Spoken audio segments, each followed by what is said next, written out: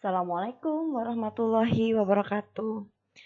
Halo teman-teman hebat, hari ini kita akan membahas soal tentang bilangan bulat ya. Kita mulai dari soal yang pertama. Andre sedang sakit flu, disertai demam. Suhu badan saat ini mencapai 40 derajat Celcius. Nah, 40 derajat Celcius. Berarti ini positif 40. Setelah minum obat dan beristirahat, suhunya turun. Turun, berarti turun 3 derajat Celcius. Bisa kita tulis negatif 3. Berapa suhu badan Andre saat ini? Berarti suhu saat ini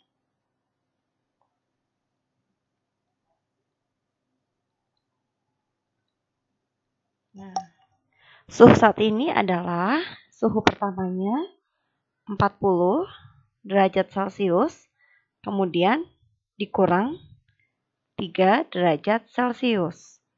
Sehingga suhunya 40 dikurang 3 adalah 37 derajat Celcius.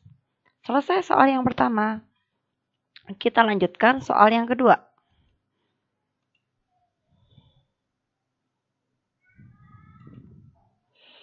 Soal yang kedua. Seekor penyu berenang pada kedalaman 831 meter di bawah permukaan laut di bawah berarti kita tulis negatif 831. Pada saat bersamaan, seekor burung pelikan terbang di atasnya pada ketinggian 9 meter di atas permukaan air laut. Di atas berarti bisa kita tulis positif 9. Nah, di sini pertanyaannya adalah Berapa meter jarak antara penyu dan burung pelikan? Jarak berarti kita cari selisihnya. Nah, selisih itu berarti dikurang. Berarti kita kurangkan antara negatif 831 dengan positif 9.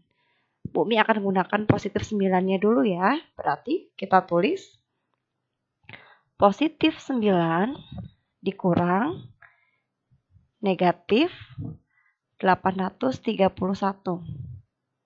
Oke, nah di sini negatif dengan negatif berjejer ya.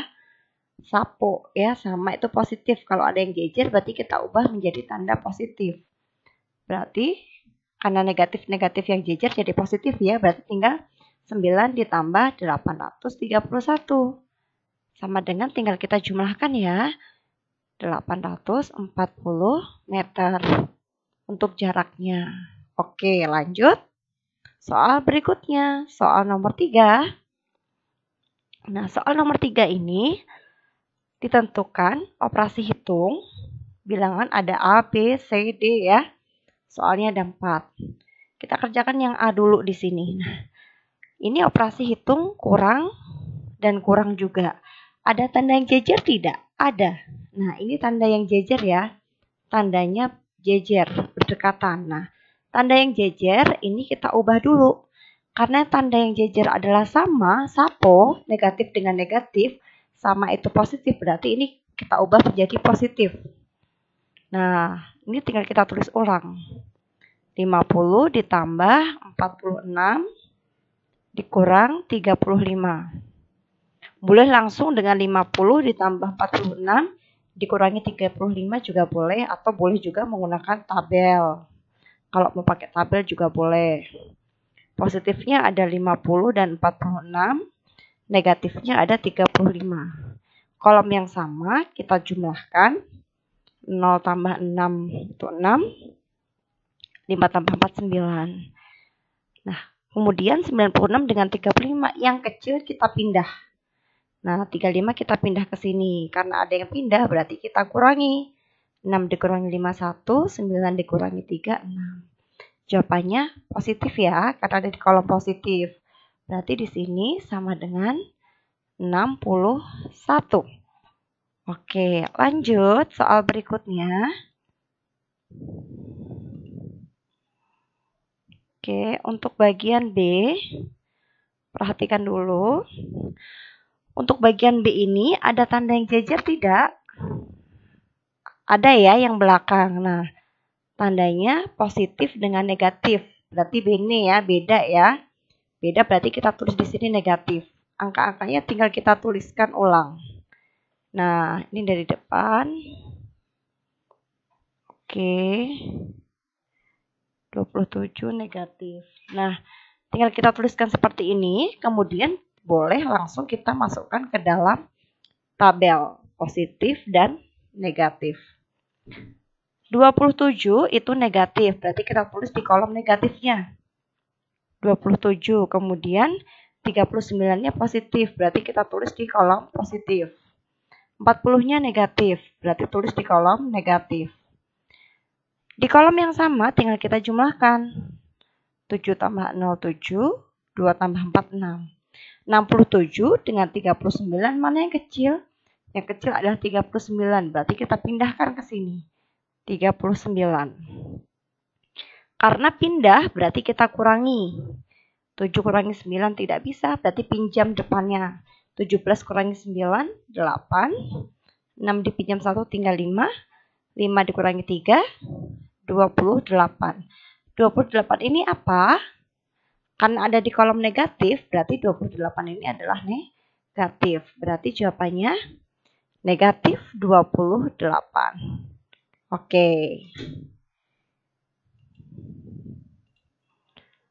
Kemudian untuk bagian yang C.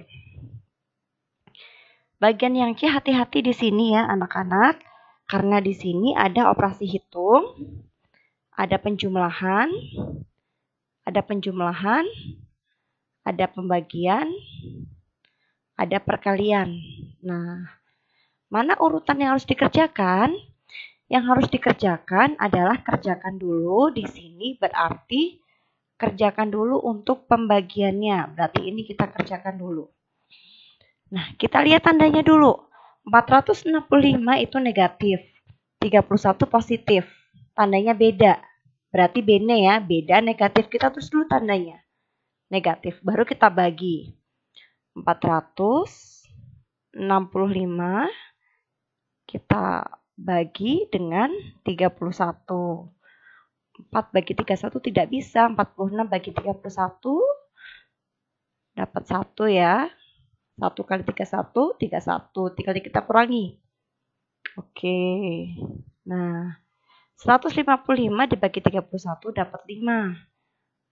Ya. Dapat 5 pas. Berarti di sini 0. Berarti hasilnya ini ya 15. Kita tulis di sini 15. Nah, tinggal yang depan kita tulis ulang. 341 ditambah ini kita kurung kali negatif 42. Ada penjumlahan, ada perkalian. Mana dulu yang harus dikerjakan? Yang harus dikerjakan tentu adalah perkaliannya dulu. Lihat tandanya dulu. Ini negatif, ini negatif. Berarti sapo, sama itu positif. Tulis dulu positifnya, biar nanti tidak lupa ya. Tinggal kita kalikan. 15 dikali 42. 5 kali 2, 10. 1 kali 2, 2 tambah 1, 3. 5 kali 4, 20. 1 kali 4, 4 tambah 2, 6. Oke, ya di sini. Nah, tinggal kita tulis hasilnya ini, tinggal kita tulis ke sini. 630. Nah, yang di depan karena ini sudah positif, tidak usah ditulis ulang, langsung kita tulis angkanya saja. Nah, ini tinggal kita jumlahkan. Berapa? 630 ditambah dengan 341. Oke, 971. Jawabannya ya, teman-teman ya. Oke, kita bisa lanjut ya. Kita lanjut ke berikutnya. Berikutnya untuk soal yang bagian D.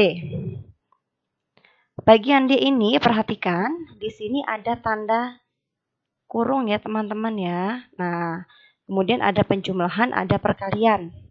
Ada kurung, penjumlahan, perkalian. Mana dulu yang dikerjakan?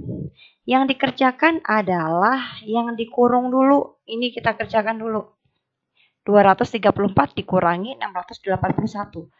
Boleh gunakan tabel ya supaya tidak uh, salah supaya lebih teliti. 234 itu positif. 681 negatif. Mana yang besar? 600 ya tentunya. Nah, berarti yang ini pindah. 234-nya pindah. Karena ada yang pindah, berarti kita kurangi. Nah, 11 dikurangi 4. Berapa teman-teman? 7 ya. Jadi pinjam 7 dikurangi 3, 4. 6 dikurangi 2, 4. Hasilnya negatif karena ada di kolom negatif. Nah, tinggal kita, ini hasilnya tinggal kita tulis ulang di sini. Negatif 447, tulis, tulis ulang ya. Ditambah negatif 34 dikali 21. Oke. Mana lagi yang dikerjakan? Ada penjumlahan, ada perkalian. Kerjakan dulu perkaliannya. Ini negatif, ini positif.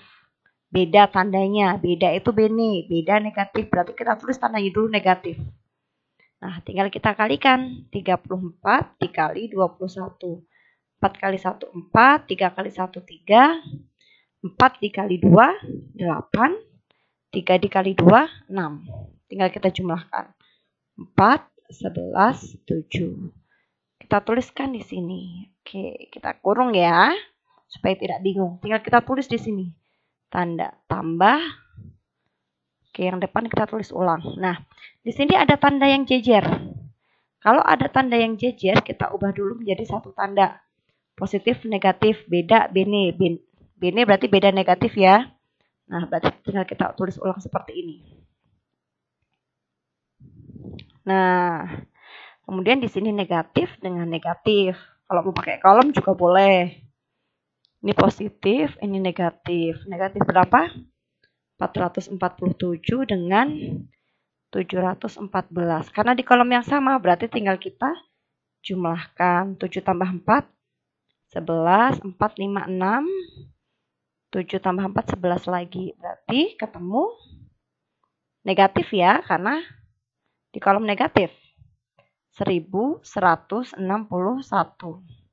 Ini negatif ya teman-teman ya. Negatif 1161. Itu untuk soal bagian D. Nah, kita lanjutkan untuk soal keempat. Nah, ini soal keempat ya teman-teman ya. Ada seorang tukang penggali sumur. Ini menggali sumur hingga kedalaman 13 meter. Nah, 13 meter di bawah permukaan tanah berarti kita tulis negatif 13. Setelah lubang sumur jadi, tukang tersebut diminta membangun tembok pembatas sumur setinggi 1 meter. Berapa jarak antara bagian tembok atas dengan tembok bawah? Kalau kita gambarkan seperti ini. Anggaplah ini sumur. Nah, di sini kedalamannya adalah negatif 13 meter ya atau 13 meter. Nah, di sini tembok pembatasnya adalah 1 meter. Jarak itu selisihnya, berarti kita kurangkan. 1 meter kita kurangkan dengan negatif 13. Ini tandanya jejer, berarti kita ubah. 1 meter ditambah dengan 13 meter. Sama dengan 14 meter. Ya, kalau udah digambar jelas. Jaraknya ini Berarti tinggal 13 ditambah dengan 1. Oke? Berikutnya yang terakhir nomor 5. Untuk yang terakhir, nah untuk nomor 5 di sini Sylvie sebuah tangga di rumah Sylvie ada 18 anak tangga. Sylvie dan Risma berada di anak tangga ketujuh dari bawah ketujuh dari bawah. Jadi kalau tangganya begini, nah, anggap aja yang paling bawah ini 0. Berarti dia ada di 7. 1, 2, 3, 4, 5, 6, 7. Di sini ya, berarti kita bisa tulis positif 7. Kemudian naik lagi 9 tangga. Berarti kita tulis positif 7, naik lagi. Naik berarti apa? Positif ya, positif 9 karena Sylvie menjatuhkan bonekanya, mereka harus turun 5 tangga. Turun berarti negatif 5. Untuk mengambilnya berada di anak tangga keberapa posisi mereka saat ini? Nah, berarti tinggal 7 ditambah 9 berapa? 7 ditambah 9, boleh langsung dijumlahkan. 7 tambah 9, 16. Dikurangi 5, 11. Bu, mau pakai tabel? Boleh. Positif, negatif, 7 positif, 9 positif, 5-nya negatif. Kolom yang sama tinggal dijumlahkan. 16. 16 sama 5 yang kecil 5, berarti 5-nya pindah. Nah, ada yang pindah berarti dikurang. 16 kurang 5, 11. Oke, jawabannya 11 ya. Jadi ada di posisi anak tangga ke-11. Seperti itu teman-teman, semoga bisa membantu pemahaman teman-teman semua ya.